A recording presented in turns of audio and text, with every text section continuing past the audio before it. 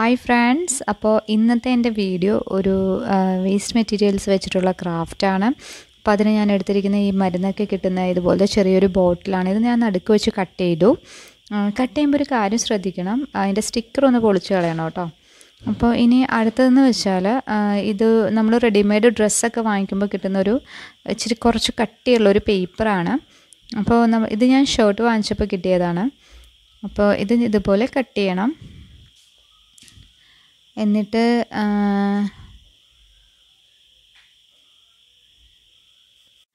ഇനി നമുക്ക് ചെയ്യേണ്ടതെന്ന് വെച്ചാൽ ഇതിൽ ബ്ലാക്ക് ആക്രിലിക് പെയിന്റ് ഞാൻ ചെയ്തു കൊടുക്കുകയാണ് മുഴുവനും ബ്ലാക്കാണ് ചെയ്യേണ്ടത്.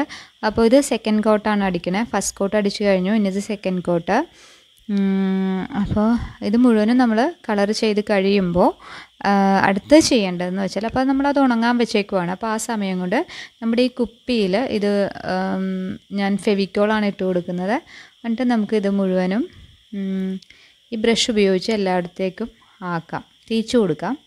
പശ എന്നിട്ട് നമുക്ക് വേണ്ടത് അടുത്തത് ടിഷ്യൂ പേപ്പർ ഒട്ടിച്ചു കൊടുക്കുവാണ്. ഞാൻ ടിഷ്യൂ പേപ്പർ എടുക്കുന്ന വേറെ ഒന്നും വെച്ചിട്ടല്ല. ടിഷ്യൂ പേപ്പർ ആകുമ്പോൾ കുറച്ച് നമുക്ക് എളുപ്പമുണ്ട് ചെയ്യാനായിട്ട്. പിന്നെ പ്രത്യേകിച്ച് വേറൊരു കളറ് നമ്മൾ ചെയ്യേണ്ട വൈറ്റ് തന്നെ ആയതുകൊണ്ട് വലിയ ബുദ്ധിമുട്ടുണ്ടാവില്ല. പിന്നെ ഒരു കാര്യം ശ്രദ്ധിക്കാന്ന് വെച്ചാൽ ഈ കുപ്പിയിൽ ഒട്ടിക്കുമ്പോൾ നമ്മൾ കുറച്ച് കൂടുതൽ ഒട്ടിച്ചു കൊടുക്കണം. അപ്പോൾ ഒരു ടിഷ്യൂ പേപ്പറിന്റെ തന്നെ ബാക്കി ഇതിൽ വന്നിരിക്കുന്ന ഭാഗങ്ങൾ തന്നെ കട്ട് ചെയ്ത് ഇതുപോലെ ഒട്ടിച്ചാൽ മതിയാവും.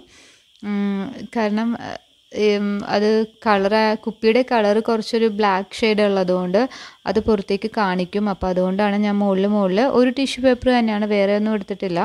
അത് തന്നെ ഒട്ടിച്ചെടുക്കുവാണ്. ഇങ്ങനെ തിരിച്ചു വെച്ചിട്ട് ഇതുപോലെ കട്ട് ചെയ്ത് മാറ്റണം. എന്നിട്ട് വീണ്ടും ബാക്കി വന്നിരിക്കുന്ന ഈ പേപ്പർ കൂടി നമ്മൾ അതിന്റെ മുകളിലേക്ക് ഒട്ടിച്ചു കൊടുക്കണം.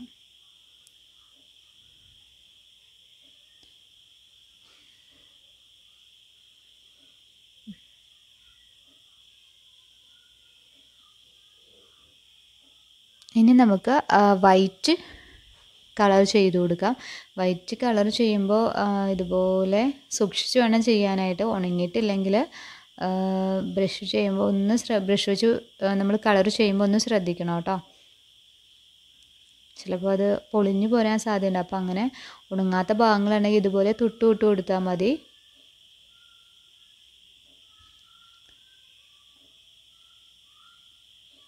ഇനി നമുക്ക് ചെയ്യാനുള്ളതെന്ന് വെച്ചാൽ ഞാനൊരു അത് ഉണങ്ങാൻ ഇത് മുഴുവനും അടിച്ച് നമുക്ക് ഉണങ്ങാൻ വെക്കാം. ആ സമയത്ത് നമുക്കൊരു എ ഫോർ ഷീറ്റ് പേപ്പർ എടുക്കാം. എന്നിട്ട് ഈ എ ഫോർ ഷീറ്റ് പേപ്പർ നാലായിട്ട് മടക്കിയിട്ട് ഞാൻ കട്ട് ചെയ്തെടുത്തതാണ്.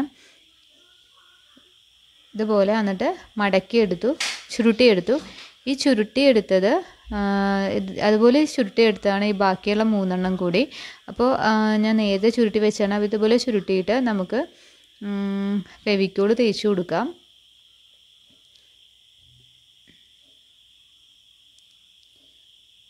ഫെവിക്കോൾ തേച്ചു. അങ്ങനത്തെ ബാക്കി ഞാൻ നേരത്തെ ചുരുട്ടി വെച്ചതുകൊണ്ട് ഇനി നമ്മളൊരു ഇതിന് നമുക്ക് ഈ പേപ്പറിൽ നമുക്കൊരു ഹോൾ ഇട്ട് കൊടുക്കാം രണ്ടെണ്ണം. കാരണം നമുക്ക് ചുവരിൽ തൂക്കണമെങ്കിൽ ഹോൾ വേണമല്ലോ. അതല്ലെന്നുണ്ടെങ്കിൽ നമുക്ക് എ സോറി നമുക്ക് ഡബിൾ സൈഡ് ടേപ്പ് വെച്ചിട്ട് നമുക്ക് ഒട്ടിക്കാം. കാരണം അധികം വെയിറ്റ് ഇല്ലാത്തതുകൊണ്ട് വിട്ട് പോരില്ല. അത് ഒട്ടിയിരുന്നോളും ചുവരിൽ അപ്പോൾ ഇനി ഞാൻ ഗ്ലൂ ഗ്ലൂഗൺ വെച്ചിട്ട് ഇത് നാല് സൈഡിലും ഫ്രെയിം പോലെ ഒട്ടിച്ചു കൊടുക്കുവാണ്. നിങ്ങൾ കുറച്ച് കൂടുതൽ ഗ്ലൂഗൺ ഉപയോഗിച്ചോട്ടോ ഇതിപ്പോൾ എന്റെ അടുത്ത് സ്റ്റിക്ക് തീർന്നു പോയി. അതുകൊണ്ടാണ് ഞാൻ കുറച്ച് പിശിക്കുന്നത്. നിങ്ങളെ കാണിച്ചു തരുന്നതിന് മാത്രമേ ഞാൻ തേക്കുന്നുള്ളൂ. അപ്പോൾ കുറച്ച് കൂടുതൽ ഇട്ടോളണം. ഇനിയിപ്പോൾ ലോക്ക്ഡൗൺ ആയതുകൊണ്ട് പുറത്തുപോയി മേടിക്കാൻ പറ്റുന്നില്ല. കടകളൊന്നും തുറക്കുന്നില്ല. അതുകൊണ്ടാണ് കേട്ടോ ഞാൻ പിശുക്കി പിശുക്കി ഇടണത്. ഇനി അടുത്തത് അങ്ങനെ നമ്മൾ നാല് സൈഡിലും അത് ഒട്ടിച്ചു കൊടുത്തു. ഇനി നമുക്ക് ബാക്കി വന്നതൊക്കെ കട്ട് ചെയ്ത് മാറ്റാം. നാല് വശവും കട്ട് ചെയ്ത് മാറ്റിയിട്ട് വീണ്ടും നമ്മൾ ആ ജോയിന്റ് വന്നിരിക്കുന്ന സ്ഥലത്ത് നമ്മൾ വീണ്ടും ഒന്ന് ഗ്ലൂ ഗൺ വെച്ച് ഒട്ടിച്ചു കൊടുക്കുവാണ്. കാരണം ഞാൻ താഴെ അധികം ഒട്ടിക്കാത്തത് കൊണ്ടാട്ടോ അങ്ങനെ ചെയ്യണത്. ഇത് ഒരു കമ്പാണ്. നമ്മുടെ കുറ്റിച്ചെടിയൊക്കെ ഇല്ലേ മുറ്റത്തൊക്കെ നിൽക്കുന്ന കുറ്റിച്ചെടിയിലേക്ക് കമ്പാണ്.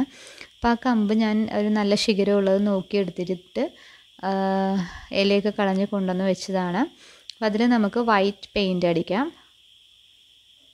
മുഴുവനും അടിച്ചു കൊടുക്കണം വൈറ്റ് പെയിന്റ് ഇതും രണ്ട് കോട്ട് അടിക്കണം രണ്ട് തവണ ഒരു- പ്രാവശ്യം അടിച്ചു ഉണങ്ങി കഴിഞ്ഞതിന് ശേഷം വീണ്ടും കളർ ചെയ്ത് കൊടുക്കണം വൈറ്റ് തന്നെ. ഇനി നമുക്ക് ഈ കുപ്പി ഇതിലേക്ക് ഒട്ടിച്ചു വയ്ക്കാം. ഞാനതിന് ഗ്ലൂ ഗൺ വെച്ചിട്ട് തന്നെയാണ് ഒട്ടിക്കുന്നത്. ഞാൻ ഏകദേശം നടുക്ക് ഭാഗത്തൊക്കെ ആയിട്ട് കുറച്ച് മുകളിലോട്ട് കയറ്റിയായിട്ട് ഒട്ടിക്കണേ. അപ്പോൾ ഇത് നമ്മുടെ സാധാരണ കടകളിലൊക്കെ പോയി വരുമ്പോൾ നമുക്ക് സാധനങ്ങളൊക്കെ കിട്ടുന്ന കിട്ടുന്ന ഒരു കിറ്റാണിത്. അപ്പോൾ ഈ കിറ്റ് ഞാൻ ഇതുപോലെ സ്ക്വയറായിട്ട് കട്ട് ചെയ്തു. അണ്ട് നടുക്കുന്ന ഇതുപോലെ എടുത്തു. ഒന്നുമില്ല.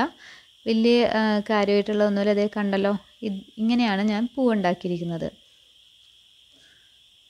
ഇനി നമുക്ക് ഒന്ന് കെട്ടിക്കൊടുക്കാം നന്നായിട്ട് മുറുക്കി കെട്ടണം.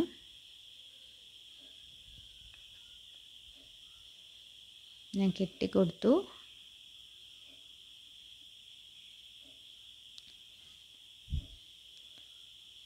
ഇനി നമുക്ക് മുകളിലത്തെ ഭാഗം ആ വിടർന്നിരിക്കുന്ന ഭാഗം കട്ട് ചെയ്യാം കുറച്ച്. എന്നിട്ട് ചെറിയ കുഞ്ഞു കുഞ്ഞു ഇതളുകൾ നമ്മുടെ ജമന്തിക്കൊക്കെ ഉള്ള പോലത്തെ കുഞ്ഞു കുഞ്ഞു ഇതളുകൾ ഉണ്ടാവാൻ വേണ്ടി ഇതുപോലെ കട്ട് ചെയ്ത് കൊടുക്കുക കണ്ട? അപ്പോൾ അങ്ങനെ ഞാൻ ഉണ്ടാക്കിയ പൂക്കളാണ് കേട്ടോ ഞാൻ നേരത്തെ ഉണ്ടാക്കി വെച്ചതാണ്. അപ്പോൾ ഇനി നമുക്ക് ഈ ഗ്രീൻ ടേപ്പ് വെച്ചിട്ട് ഇതിന്റെ ഓരോ ബ്രാഞ്ചസിൽ നമുക്കിതുപോലെ കെട്ടി വയ്ക്കാം ഇപ്പോൾ ഒരു എല്ലാത്തിലും നിറയെ വെക്കണം എന്നൊന്നുമില്ല. അവിടെ ഇവിടെയൊക്കെ ആയിട്ട് ഒന്ന് വെച്ച് കൊടുത്താൽ മതിയാവും പൂക്കൾ അത് നിങ്ങളുടെ ഇഷ്ടം. നിങ്ങൾക്ക് ഏതാ ഭംഗിയെന്ന് തോന്നണേ അതുപോലെ നിങ്ങൾക്ക് ചെയ്യാം കേട്ടോ അപ്പോൾ ഞാൻ പൂക്കളെല്ലാം ഒട്ടിച്ചു കഴിഞ്ഞു. ഇനി ഇത് കുപ്പിയിലേക്ക് ഇറക്കി വെച്ചു. അപ്പോൾ എന്റേത് ശരിക്കും അതിൽ ഇങ്ങനെ മുറുകിയിരിക്കുന്നത് കൊണ്ട് അത് താഴത്തേക്കൊന്നും വീണ് പോകുന്നില്ല. നിങ്ങൾക്കത് ഒട്ടിച്ചു വയ്ക്കണമെങ്കിൽ ഒട്ടിച്ചു വയ്ക്കാം കേട്ടോ അപ്പോൾ നമ്മൾ ക്രാഫ്റ്റ് കഴിഞ്ഞു. എല്ലാവർക്കും ഇഷ്ടപ്പെട്ടു എന്ന് വിചാരിക്കുന്നു. അപ്പോൾ എല്ലാവരും എന്റെ ചാനൽ ഇനിയും കാണണം. ലൈക്ക് ചെയ്യണം. കമന്റ് ചെയ്യണം. സബ്സ്ക്രൈബ് ചെയ്യണം. പിന്നെ ഷെയർ ചെയ്യണം. ആ, ബെല്ലൈക്കൻ കൂടി പ്രസ് ചെയ്തേക്കൂട്ടോ അപ്പോൾ വീണ്ടും കാണാം. ബായ്